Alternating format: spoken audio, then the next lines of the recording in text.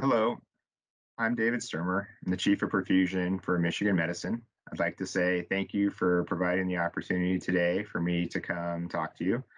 We are talking about cardiopulmonary bypass, prime volumes, and red cell transfusions.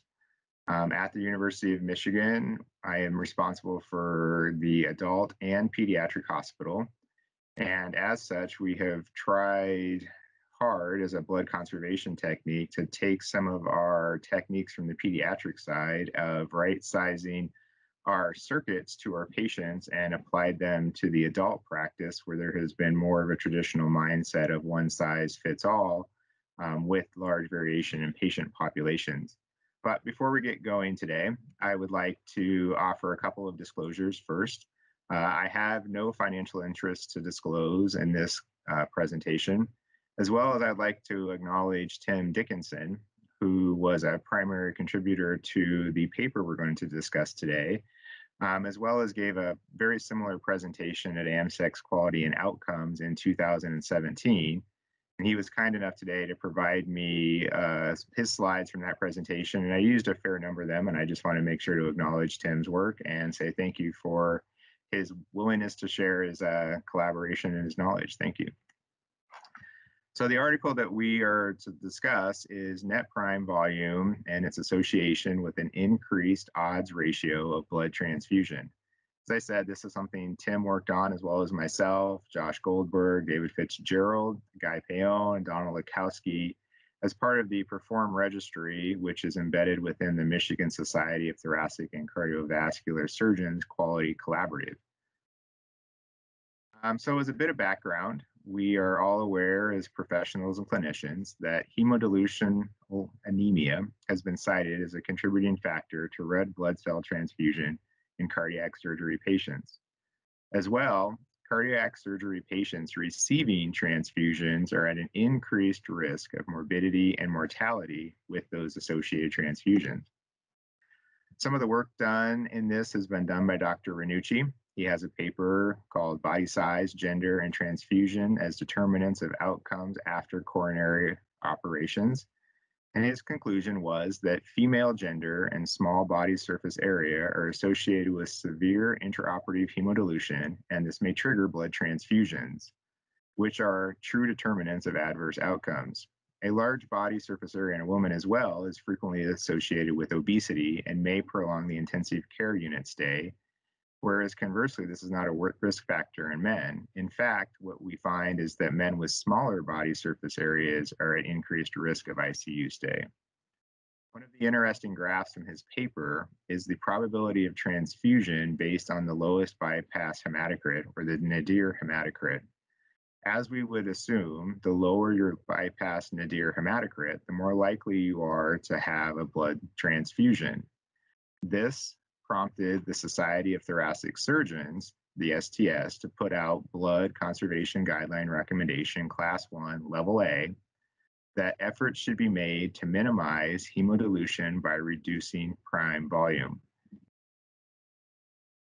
With that in mind, uh, the group that contributes to, to the Perform registry uh, set out with an objective in mind. They decided to assess the impact of these efforts on intraoperative red blood cell transfusions in centers that are contributing to perform.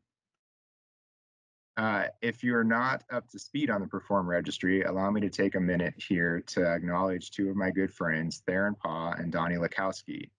While there were many people that contributed to the uh, spearheading the increase in Perform registry usage, uh, Donnie and Theron were instrumental in really getting it off the ground and getting it going as a data collection registry for cardiopulmonary bypass variables, and then associating it with STS case uh, as well. They put an article out in 2012 called The Validation of Perfusion Registry, Methodical Approach and Initial Findings, and basically went through the methodology of what they are trying to accomplish with the Perform registry. Their overall objective is to focus on the technology, circuit priming volumes, constituents, medication, um, and blood management, cardioplegia strategies, temperature and volume management that go along with cardiopulmonary bypass of management of patients undergoing cardiac surgery. They do this by taking STS data and perform data and merging these records. There's a few shared variables between the two registries, such as hospital national provider number, date of surgery, bypass time, cross clamp time, and date of birth of the patient. And they use these fields to create a merged record. I think, as we're all aware, the STS is a phenomenal source of capturing surgical uh, occurrences for patients, but the variables associated with cardiopulmonary bypass are few and do not provide a lot of clarity around a variation in practice that can occur from institution to institution and perfusion to perfusion. And Donnie and Theron were instrumental in getting us up and running with a way to merge these records, as well as provide some more clarity to the variables associated with cardiopulmonary bypass for these surgical patients. With that in mind, the Perform group uh, went about designing a study to look at how prime volume impacts blood transfusions. So we designed a prospective observational cohort study. Our primary exposure was to be net prime. And this is defined as total prime volume minus your RAP volume. So basically static volume within the circuit minus any volume removed for RAP and or VAP in the process. The idea was to then index this to the body surface area or mLs of prime per meter squared. Doing this, we found a median mLs of prime per meter squared of 377 mLs per meter squared. Then we used this as a cut point to create four quartiles. These quartiles were less than 262 mLs per meter squared of uh, prime volume. Quartile 2 was 262 to 377 mLs per meter squared. Quartile 3 was 377 to 516 uh, mLs per meter squared. And quartile 4 was 516 mLs per meter squared or greater exposure.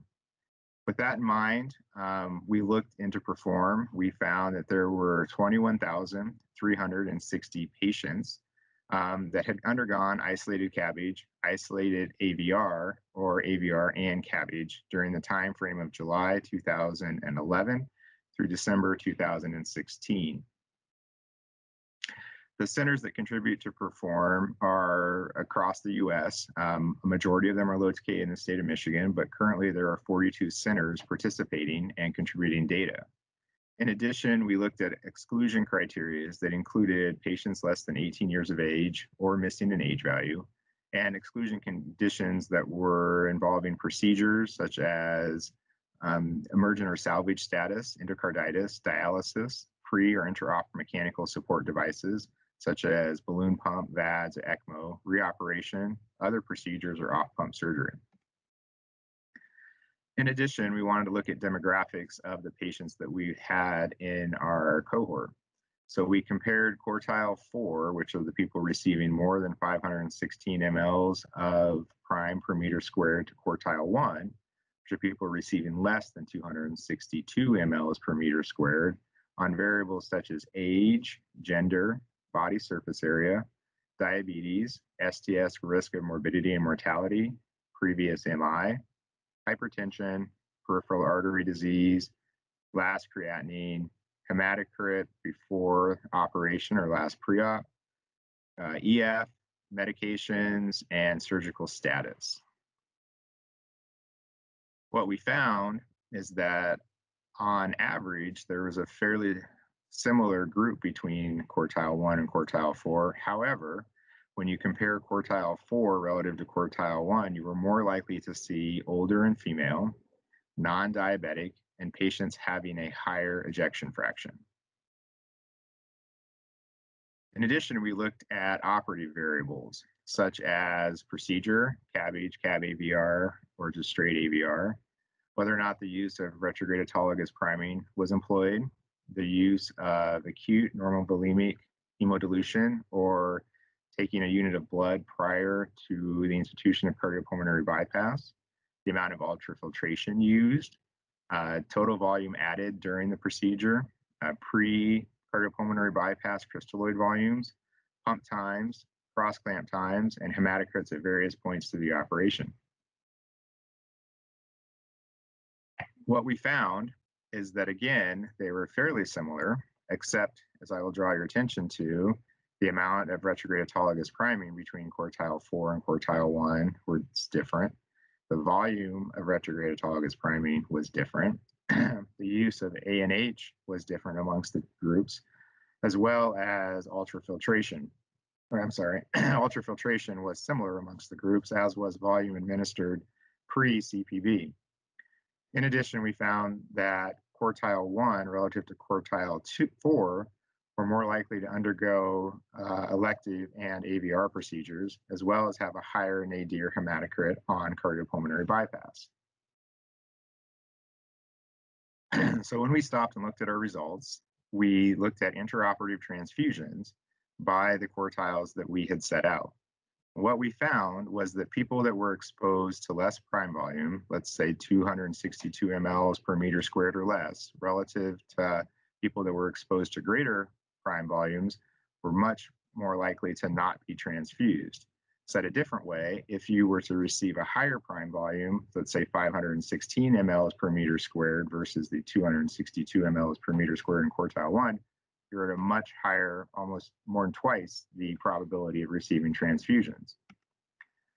So we decided then to look at it as an odds ratio, and we adjusted for patients such as age, sex, race, diabetes, vascular disease, previous myocardial infarctions, ejection fraction, creatinine, preoperative hematocrit, total albumin, uh, antiplatelets, as well as procedural types and found that the odds ratio between quartile 1 to 262 mLs per meter squared versus quartile 4 was more than twice. As I recall, it was about a 17% increase per 100 mLs of increase in prime.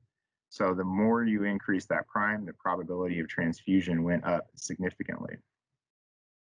This absolutely supports the hypothesis that the efforts to reduce prime volume when indexed to BSA indicate an impact on transfusions.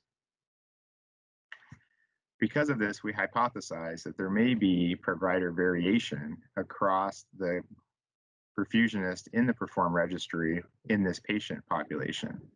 So while we looked at this and had a mean net prime volume per BSA of 377 mLs per meter squared, you can see from the graph that there is a large variation amongst providers in their typical mLs per meter squared of prime provided. This can be from a number of factors, from institutional variation to circuit size to the use of RAP and VAP. So in conclusion, we decided that patients that were exposed to larger net prime volumes were associated with greater adjusted odds of receiving intraop transfusions. Our findings further reinforce the importance to reduce net prime volume. So now I'm going to switch gears a little bit and look at site-specific data, and I'm going to take data that we have as internal QI QA data from the University of Michigan Again, this is unpublished internal data, and it's part of our PDCA loop cycle for quality improvement. And it's interesting to look at this because we have about eight years, nine years of data that we're going to look at, and it actually shows a change in practice with the feedback of data to the team over that time period. So this graph shows overall transfusions for our practice from 2012 through 2020 what we see during that time frame is that in 2012 there was about a little bit more than 50-50 shot of getting blood at the University of Michigan if you came to have surgery. Over the intervening eight years, we've reduced that to about a 30% chance of receiving blood during that time. Now, is this directly related to prime volume per BSA? I don't believe that that is the total picture, but it is definitely a contributing factor because during this time we have instituted a blood management group as a quality measure that continuously looks at this and monitors how we manage and what we think about in blood management techniques. Our director of this meeting and our uh, blood management person is Amy Geltz, who is responsible and is our adult STS database manager. So this is a look at how we use oxygenators at the University of Michigan. About 2011, we started to realize that we had a lot of opportunity to improve our practice around blood management. So in 2012, we started using uh, two different circuit and oxygenator configurations. We started using a FX15 with a 3 8 venous line and an FX25 with a half inch venous line. Um, and so you see here 2013 kind of the split of how we use those two circuits. And then late in 2013, we added in the RW40. The reason we did this is we decided as a team that our FX15 circuit with a 3 8 venous line would be good to about four liters a minute. And above that, we would go to an FX25 with a half inch venous line. When we were looking at our data, we realized that we would probably have an opportunity to add in a third oxygenator reservoir configuration and use the smaller oxygenator, the FX15, with a half inch venous line and a larger reservoir in the RW40 configuration. You can see over time how this has contributed to our change in practice through the use of reducing the FX25 through about 2017 and using more of the RW40 and more of the FX15s. Now, I'd like to point out as well, you see an interesting trend starting in 2017 as well, that we appear to be using more and more FX25s all the way through 2020 when it is clearly the predominant auctioneer that we use, almost reaching back to 2013 levels. We'll talk about that more in just a second. at the same time, we were looking at our small circuit utilization. And this is where you can see an interesting feedback piece. Um, when we went to using that small circuit configuration, so the FX15 oxygenator with the 3 8 venous line in 2012, there was not a quick adoption of it amongst the team. And in fact, a majority of the team still had the one size fits all on the adult side and were comfortable saying that they were happy to use a bigger oxygenator and a half inch venous line for numerous reasons. But as we started providing feedback, you can see that in 2012, we transfused at about 66% in that patient population that would have been probably better suited by a smaller circuit. And we only used the circuit about 61% of the time. As you go forward in time through about 2016, we reduced our transfusions to about 37% in that same patient population and had our circuit utilization at about 95%. Now, as we go forward again, you see that the circuit utilization was flat for a while, but recently, as last year, dipped. During that time, you'll see 2018, 2019, 2020, our transfusion in that patient population remained fairly flat. So we were curious to see overall what may be driving some of these changes in practice. So we looked at our utilization of RAP and VAP. So this graph here provides an example or an indication of how often we RAP and VAP through our practice.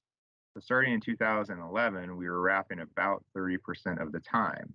As we started working on blood conservation techniques and changing our circuits to match our patients more effectively, we also worked on increasing blood management techniques around RAP and VAP, peaking in about 86% in 2016. We did see a fall off in 2017 and 2018, but came back in 2019 and 2020. Our blood management group was interested to see what that fall off could be related to. Because if you go and look at our, our numbers for blood transfusions during that time, if you remember from the first slide, there was actually an increase in transfusions around that time as well. We hypothesized that it's based in a number of new staff in both perfusion, anesthesia, and surgical faculty coming in around the 2016 to 2018 timeframe. We think that there was probably a lack of comfort in managing not only smaller circuits, but as well the RAP and VAP volume and as we've gone forward in time, you actually see an increase in our RAP and VAP percentage And this is based upon team interaction, not just a perfusion decision, but anesthesia, surgeons, and perfusion discussing the case, that now we're almost to 95% in 2020 RAP and VAP. So how has this impacted our oxygenator use? I think what you can see in 2018, 19, and 20 is that the team is becoming more comfortable with their RAP and VAP techniques and thus reducing prime volume per BSA to the patient. And as a result, I have a tendency to bump up to the FX25 oxygenator a little sooner than they did historically. This is a piece of the puzzle that is very interesting to us because we're also looking at a reduction in the utilization of the smaller circuit over the same time frame without a change in overall transfusions. so this would indicate that there's a potential to implicate RAP and VAP as a more powerful technique than circuit utilization. However, I would suggest that it is an additional technique to circuit matching with your patient. As indicated by our graph here, that we have now become more proficient at RAP and VAP, as well as matching our patients to our circuit size and through 2020 are doing quite well with all comers in transfusing about 30% of our patient population. so in summary, reducing mLs of prime per BSA of crystalloid has an impact, without a doubt, on transfusions. This can be done via RAP and VAP and a circuit sizing combination to appropriately size your circuit to your patients. However, as we saw, ultrafiltration doesn't reduce the mLs per meter squared of prime with the same impact on transfusions. In addition, I think it's important to monitor your data, to monitor what you are doing as a practice, as well as contribute to a registry such as Perform and receive feedback that is able to then be provided to the team and impact overall practice. If you're interested in the Perform registry and would like your center to contribute data as well, they can be found within the Michigan Collaborative of Cardiovascular and Thoracic Surgeons website, mstcvs.org. And there is a link in there to become part of the Perform registry. And I'm sure Donnie Likosky would be more than happy to talk to you about it. Again, I would like to say thank you very much for the opportunity today. And I appreciate the time and the efforts and the willingness to work on reducing overall blood transfusions to our patients. Thank you very much.